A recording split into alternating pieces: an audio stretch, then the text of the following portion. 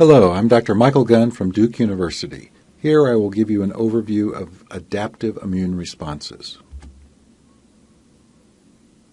After this lecture, you should be able to explain the adaptive immune system, describe the events that comprise an adaptive immune response, explain the basis for its antigenic specificity, and define clonal selection. We have just covered innate immune responses. Adaptive immune responses build off of innate responses. For most immune responses, dendritic cells serve as the bridge between innate immunity and adaptive immunity. As a specialized type of phagocyte, these cells take a sample of pathogens and use this to initiate an adaptive immune response. They capture pathogen antigens, and in response to pattern recognition receptor stimulation or alarm signals, become activated. Once activated, they let go of the surrounding tissues and change their chemokine receptors in a way that allows them to migrate. Where do they go? Activated dendritic cells in most peripheral tissues or organs enter lymphatics and migrate to a secondary lymphoid organ, where most adaptive immune responses are initiated. These include lymph nodes, spleen, and Peyer's patches, and are the sites where antigen presenting cells present antigen to the responding cells, which are naive lymphocytes that arrive from the blood.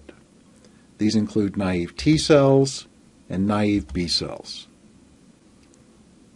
If a naive lymphocyte finds its cognate antigen, this initiates a primary or first adaptive immune response against this antigen. This is also known as priming. Events associated with this include antigen presentation, lymphocyte activation, lymphocyte proliferation, and the programming of lymphocytes toward a particular type of immune response. I said that the adaptive immune system is highly specific. The basis for this is that lymphocytes express highly specific antigen receptors.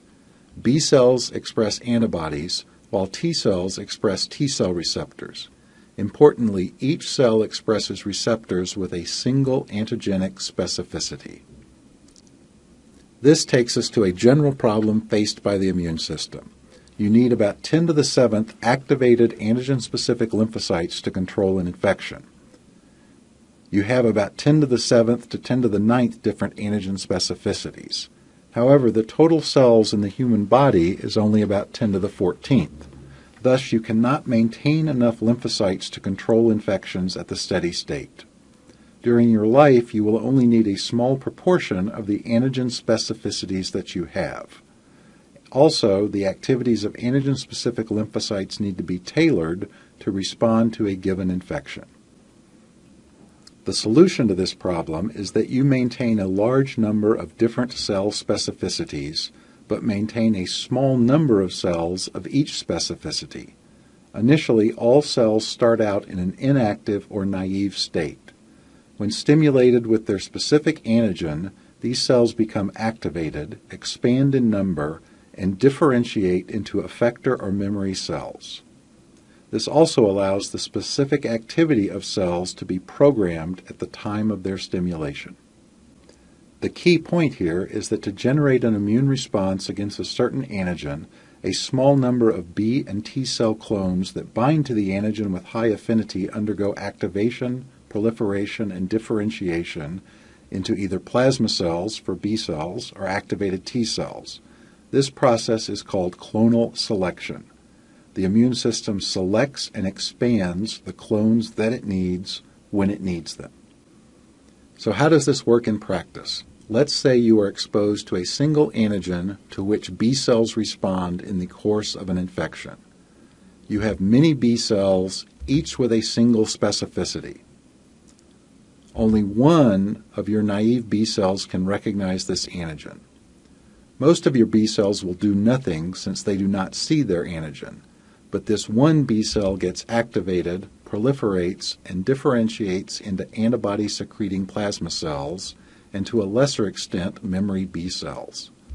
Thus, the process of clonal selection provides enough antibody producing cells to fight the infection and enough long lived memory B cells to recognize the pathogen if you are re exposed. Typically, a primary immune response results in the activation and expansion of three cell types. The first is effector CD4 cells or helper T cells. These cells perform a number of different functions. They provide help to CD8 cells, they help B cells, they migrate to tissues, they produce cytokines, and they activate macrophages.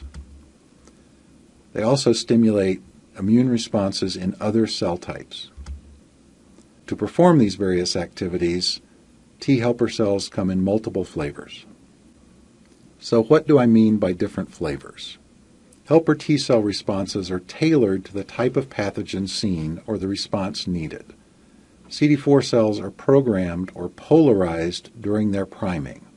This determines which cytokines that these cells produce. Th1 cells make interferon gamma, this activates macrophages for fighting intracellular microbes. Th2 cells makes interleukin 4 and interleukin 5. These stimulate antibody production and antiparasite responses. Th17 cells make interleukin 17. This stimulates neutrophil responses for fighting extracellular bacteria and fungi.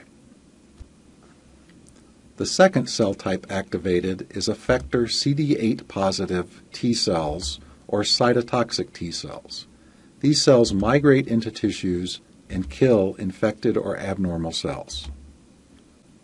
The third cell type activated is effector B cells, which make antibodies. These antibodies bind to and neutralize toxins, block virus infection, promote phagocytosis, activate complement, and trigger the activation of other cell types.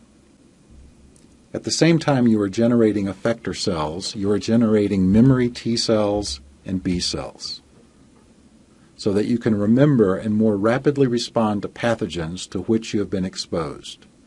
Characteristics of immune memory include increased cell numbers, increased sensitivity. These cells are pre programmed to be able to fight infections and their activation is not dendritic cell dependent. All of the steps that I have just covered represent the sensitization phase of immune response. Once you are exposed to an antigen, you are sensitized to it.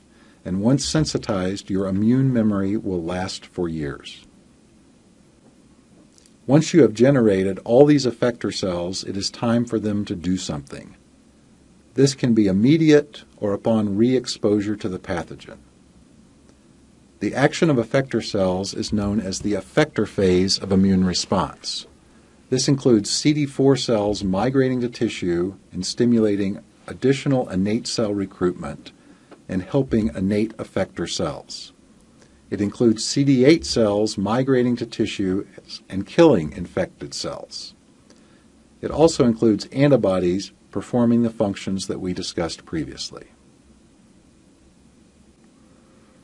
Now, the immune system is a powerful thing. Unfortunately, all of these toxic effector functions are not always confined to the pathogens. They can also injure our own tissues. This is known as immune pathology. A key point here is that in many immune mediated diseases, especially autoimmune diseases, all we see is the immune pathology. We do not see and often do not understand how they are initiated, their antigen specificity, or their specific mechanisms. This is true for a large number of very common diseases. You may have wondered how we can get 10 to the 8th different antigen specific receptors when we only have about 25,000 genes.